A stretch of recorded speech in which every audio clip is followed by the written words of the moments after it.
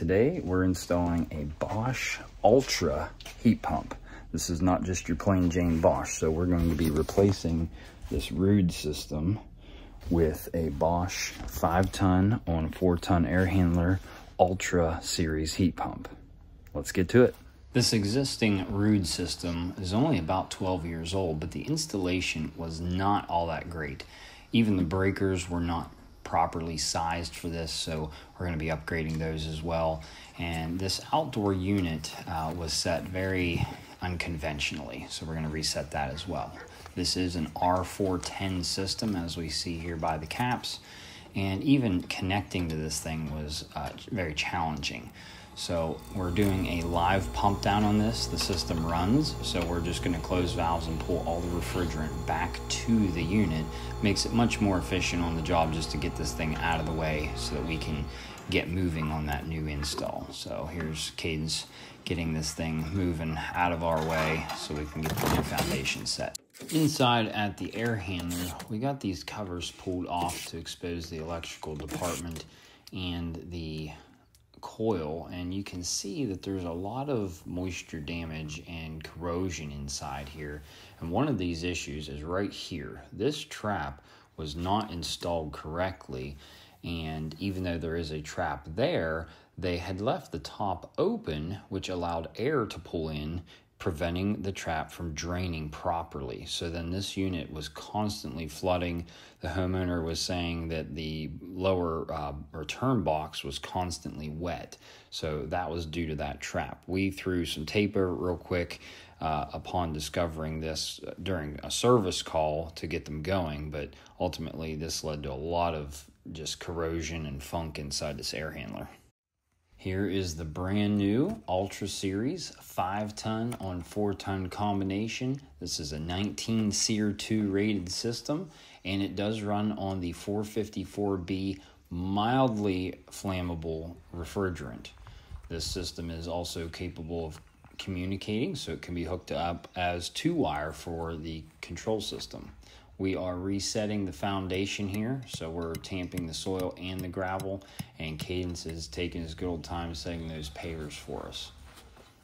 Now at the air handler, I am lightening this thing up as much as I can. Uh, since it is fairly simple to pull that coil out, we're just going to pop that out of there, lighten the air handler up, and that way we can easily pull this air handler off of that return box. Now Cadence is working on installing the electric strip heaters. And so the strip heater that we're using is a standard style strip heater, not a modulating or three stage strip heater. We are going to be wiring this as a single stage since we are relying on the Ultra to be very efficient and effective. Now, this particular screw right here is critical. That is a rounded screw to prevent damage to the wiring that's going to be hidden underneath from these breakers. So it's very critical to use that rounded screw that comes from factory. Now we're setting this new air handler in place. I had already done some pre-measuring and some tweaking on this. Uh, we actually had raised it up and put some rubber feet underneath it to prevent some vibration from translating into the house and the ductwork. That, that air handler weighs around 150 pounds, I believe it is. So by yourself, definitely a little tricky. These Bosch units are made very sturdy built, so they are on the hefty side. So this Ultra has a special strip heater they recommend for it, uh, which is a three-stage system. But the packaging right here that comes with the air handler has this pigtail here. So, so it converts it from a four wire to a two or three wire uh, connection for your strip heater. So you do not have to use the three stage strip heater. I have worked directly with Bosch on this, so they send the pigtail for a reason. You do not have to. If you do use the three stage strip heater, it comes with a voltage sense um, there's a little thing there that detects voltage and it has an extra plug that you have to jam into the control board. The control board is just a square plug The one on the voltage sense has the two little dimples for it to like lock in. They don't match, but they it does plug in. You have to argue with it. Straight to my Bosch tech rep, and they, they sent him a picture. It's jammed in there. Somehow along the line, there was a miscommunication on which port and which plug to use. So if you use the three stage, it will fit. Just jam it in there, um, and it has that voltage sense uh, built into it. Small plug goes on CS2 back here in the back. And then our relay plug goes over here to the one that says to heating. That's a CN6. Right there. It will work. But right now we're using a standard strip heater and we're just going to use the adapter cable.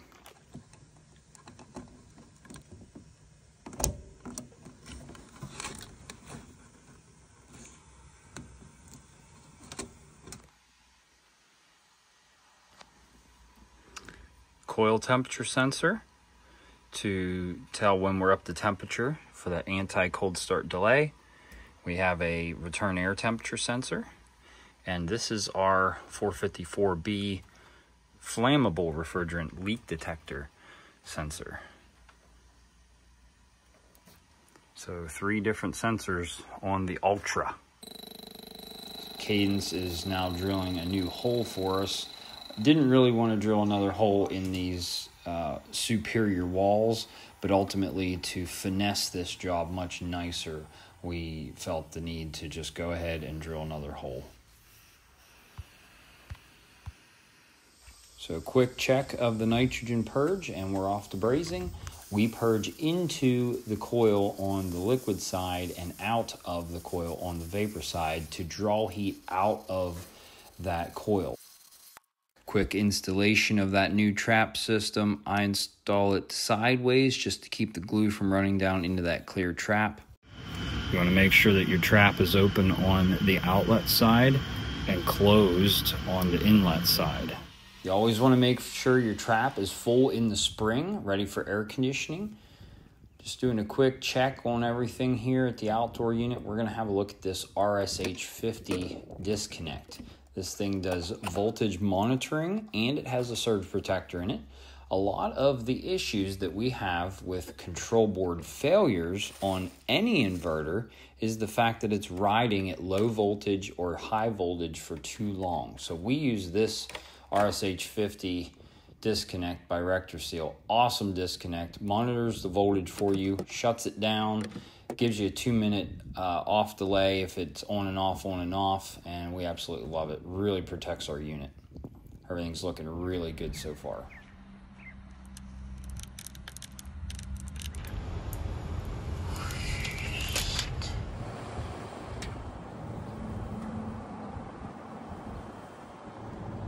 So after initial installation of this, you want to make sure that your dip switches are set correctly.